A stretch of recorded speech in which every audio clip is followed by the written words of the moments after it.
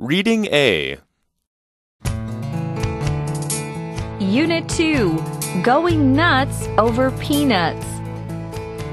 Another popular character in Peanuts is Charlie Brown's dog, Snoopy. Snoopy is a beagle with a vivid imagination.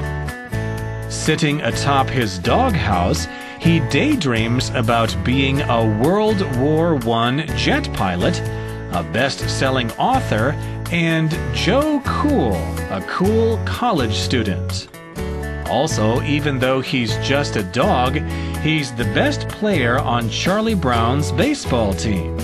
Charlie Brown and Snoopy are just two of the many characters created by cartoonist Charles M. Schulz.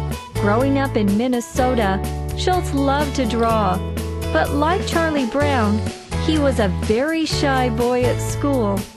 He also felt like a failure when his high school refused to put his artwork in its yearbook. Even so, he learned to carry on through hard times and persevere